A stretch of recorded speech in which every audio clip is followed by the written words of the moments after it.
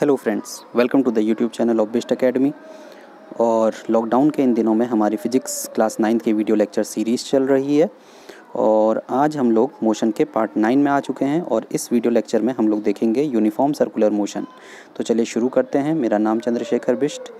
तो सबसे पहले तो can you think of an example when an object does not change its magnitude of velocity but only its direction of motion कहने का क्या मतलब है कि वेलोसिटी का मैग्नीट्यूड चेंज नहीं होना चाहिए। ऐसा कोई एग्ज़ाम्पल बताइए। मैग्नीट्यूड वेलोसिटी का मतलब हो गया स्पीड की बात हो रही है। ऑब्जेक्ट की जो स्पीड है ऑब्जेक्ट की जो स्पीड का मतलब उसका जो मैग्नीट्यूड है, मान लो कि दो मीटर पर सेकंड ये चेंज ना हो रहा हो, लेकिन सिर्फ़ उसकी क्या चेंज हो रही हो? डायरेक्शन तो क्या कोई एग्ज़ाम्पल ऐसा माइंड में आ रहा है? तो चलिए देखते हैं। इसी चीज़ को समझते हैं हम लोग। ये हमारे पास यूनिफॉर्म सर्कुलर मोशन के टर्म्स में। अब अगर देखें हम लोग, मान लो कि कोई एक एथलीट है, वो एथलीट दौड़ रहा है और एक रेक्टेंगुलर ट्रैक है हमारे पास। और ये रेक्टेंगुलर ट्रैक में ए से बी गया, फिर बी से सी गया सी से डी गया डी से ए गया।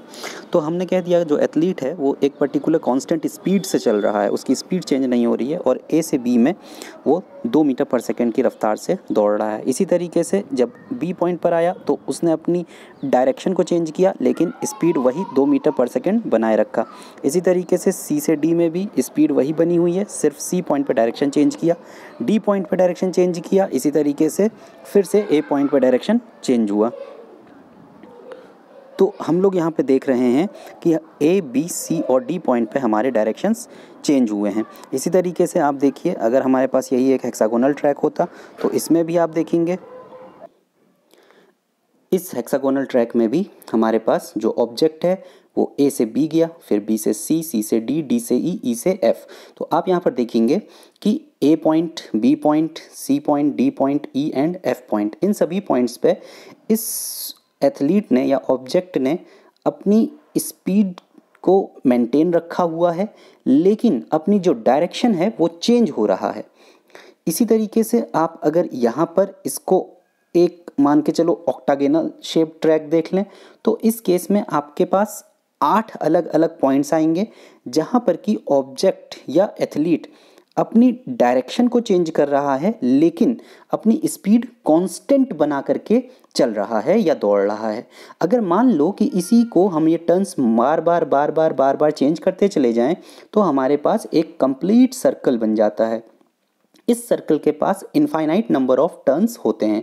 तो हम कह सकते हैं कि सर्कल के केस में अगर कोई ऑब्जेक्ट है या एथलीट है, वो जब रिवॉल्व करे या चले तो उसकी जो स्पीड है, वो तो कांस्टेंट बनी हुई है हर एक पॉइंट पे। लेकिन हर पॉइंट पे उसकी डायरेक्शन क्या हो रही है? चेंज हो रही है। तो हमारे पास यहाँ पे हर पॉइंट पे इसकी डायरेक्शन चेंज होती चली जाएगी। तो हम लोग यहाँ पर अगर देखें तो हम कह सकते हैं किसी भी एक यूनिफॉर्म सर्कुलर मोशन के लिए when an object moves in a circular path with uniform speed uniform speed का मतलब मैग्नीट्यूड चेंज नहीं हो रहा है. That is known as uniform circular motion अब अगर आप इस यूनिफॉर्म सर्कुलर मोशन में विलोसिटी निकालना चाहें तो वेलोसिटी का फॉर्मूला होता है डिस्प्लेसमेंट अपॉन टाइम तो अगर हम यहाँ पे देखें तो हमारे पास ये ऑब्जेक्ट जो है, ये टोटल यहाँ पे जब ये चलता है तो इस केस में ये जो डिस्टेंस या डिस्प्लेसमेंट ट्रेवल हो रहा है that is two pi r तो हमारे पास इस सर्कुलर पाथ में जो विलोसिटी निकल करके आएगी, वो हो जाएगी two pi r upon t इस फॉर्मूले को आपको याद रखना है। किसी भी सर्कुलर केस में सर्कुलर मोशन में जो टू पाई आर है, वो हमारे पास डिस्टेंस देता है। इसी तरीके से आगे बढ़ते हैं। अब हम लोग कुछ एन e के न्यूमेरिकल्स करते हैं। इस न्यूमेरिकल में हम लोग सबसे पहले देखेंगे कि एक आर्टिफिशियल सेटेलाइट है, जो कि मूव कर रही है किसी भी सर्कुलर ऑर्बिट में, और उस ऑर्बिट का जो रेडियस है, वो हमारे पास फो forty two thousand two hundred fifty kilometres है। अब हमसे यहाँ पे पूछा गया है कि इसकी स्पीड क्या होगी अगर इसका टाइम 24 फोर आवर्स दिया हुआ है। तो हम लोग जानते हैं कि हमारी जो स्पीड है, वो स्पीड लिखी जाती है two pi r upon t. अब आपके पास यहाँ पे पाई पाई की जो वैल्यू होती है, ये भी आपको पता है कि पाई की वैल्यू होती है ट्वेंटी टू अपॉन सेवन या थ्री पॉइंट वन फोर। तो आपको कुछ नहीं करना है। सीधे से आपको इस इक्वेशन में जो स्पीड के लिए, वेलोसिटी के लिए जो फॉर्मूला होता है, two pi r upon t. तो आपको यहाँ पर आर की जगह पे आर की वैल्यू रख देनी है। इसको मीटर्स में चेंज कर लेंगे थाउज़ेंड से मल्टीप्लाई करके और टाइम की जगह पर आपको 24 आवर्स पुट कर देना है। और 24 आवर्स को भी आप सेकेंड में पुट कर सकते हैं। या आप स्पीड को किलोमीटर पर आर में भी निकाल सकते हैं और ये आपके पास सिंपल आंसर आ जाएगा। इसी तरीके से आगे बढ़ते हैं। एक ट्रेन है जो कि स्टार्ट कर रही है रेलवे स्टेशन से and moving with uniform acceleration. अब देखिए, सबसे पहले इन क्वेश्चंस को करने का एक तरीका ये होता है कि जो इक्वेशन में आपको इन्फॉर्मेशन दी हुई है, आप उसको नोट डाउन कर लीजिए। सबसे पहले यहाँ पर क्या दिया हुआ है? स्टार्ट कर रही है रेलवे स्टेशन से। इसका मतलब है कि रेलवे स्टेशन पर तो रुकी हुई होगी तो इसका मतलब उसकी इनिशियल वेलोसिटी क्या है? ज़ीरो। और फिर उसने यूनिफॉर्म एक्सेलरेशन से चलना शुरू किया। इसका मतलब उसके पास कुछ एक्सेलरेशन है। कितना है? वही हमको यहाँ पे निकालना है। दूसरी चीज़, जब कोई भी ऑब्जेक्ट एक्सेलरेट करता है तो उस एक फाइनल वेलोसिटी अटेन करता है। तो यहाँ पर ये जो फाइनल वेलोसिटी या स्पीड अटेन कर रहा है दैट इज़ वी और वी हमको दिया हुआ है फोर्टी किलोमीटर पर आर अब किलोमीटर पर आर को आप मीटर पर सेकेंड में आसानी से चेंज कर सकते हैं। One thousand divided by three six zero zero इसको मल्टीप्लाई कर देंगे किसके साथ? 40 के साथ। तो किलोमीटर पर आर आपका किसमें कन्वर्ट हो जाएगा? मीटर पर सेकेंड में। तो आसानी से इस प्रश्न को भी आप अब सॉल्व कर सकते हैं। कैसे? क्योंकि अब आपको पता है तीन इक्वेशंस ऑफ़ मोशन आपने पढ़ी हैं। तो पहली इक्वेशन ऑफ़ मोशन ही अगर आप देखें v is equals to u plus a t अगर आप इस इक्वेशन को देखें तो आपके पास क्या v दिया हुआ है? बिल्कुल दिया हुआ है। आपके पास क्या u दिया हुआ है? बिल्कुल ज़ीरो दिया हुआ था। आपको पता क्या करना है? A, और फिर टाइम कितना दिया हुआ है आपको? टेन मिनट्स और इस टेन मिनट को भी सेकंड में कन्वर्ट कर लेंगे। तो देखिए जनरली हम लोगों को क्या करना होता है? कोई ऐसी इक्वेशन निकालनी होती है, जिसमें केवल एक अननोन हो। आप यहाँ पर देखेंगे अगर तो ये भी नोन है। ये भी नोन है और टाइम भी नोन है। केवल अननोन क्वांटिटी क्या है? ए तो इस इक्वेशन को यूज़ करके हम आसानी से इस क्वेश्चन को सॉल्व कर सकते हैं। चलिए आगे बढ़ते हैं।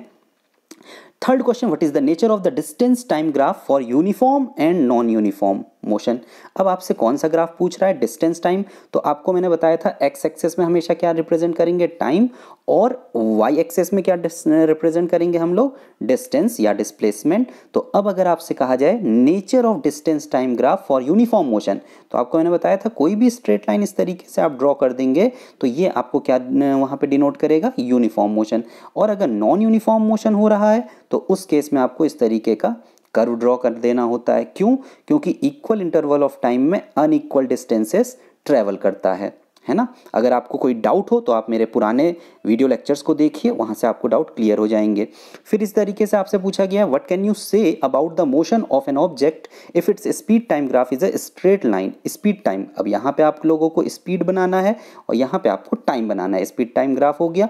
कह रहा है speed time graph is a straight line now this speed time graph is a straight line it means we have to draw a line that is parallel to the time axis now this line is parallel to the time axis and you can easily infer from this graph that the velocity remains constant ये velocity यहाँ पे constant बनी हुई है समय बदल रहा है time is changing but the velocity is not changing velocity वैसी ही बनी हुई है इस वजह से ये हमारा कैसा मोशन कहा जाएगा यूनिफॉर्म मोशन यूनिफॉर्म क्यों क्योंकि वेलोसिटी कांस्टेंट बनी हुई है रुका हुआ नहीं है ऑब्जेक्ट है ना अब आप देखिए bus starting from rest moves with a uniform acceleration अब देखिए, यहाँ पे कहाँ से स्टार्ट कर रहा है? रेस्ट से तो यू कितना हो गया? ज़ीरो यूनिफॉर्म एक्सेलरेशन ए कितना दिया हुआ है? Zero point one metre per second square time कितना दिया हुआ है? टू मिनट है ना? इस टू मिनट को आप कन्वर्ट कर लेंगे सेकेंड में टू इंटू सिक्सटी सेकेंड्स अब बचा क्या? आपसे भाई पूछ रहा है स्पीड कितनी पाई?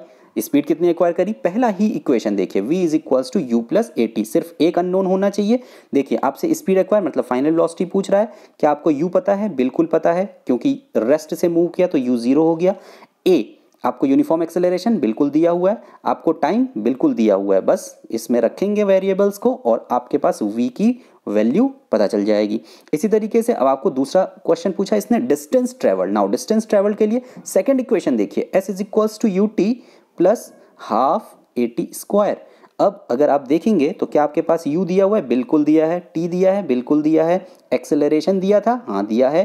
टाइम दिया था, बिल्कुल दिया है। इस इक्वेशन में आप इनकी वैल्यूज़ को पुट करेंगे तो आपके पास क्या आ जाएगा वहाँ पे? डिस्टेंस ट्रेवल्ड आई होप कि आपको ये बातें क्लियर हो गई होंगी। तो एन के ये सारे क्वेश्चन हम लोग धीरे धीरे देखते जाएँगे और नेक्स्ट वीडियो लेक्चर में हम लोग देखेंगे कुछ और ग्राफ्स जो कि आपके एन में है।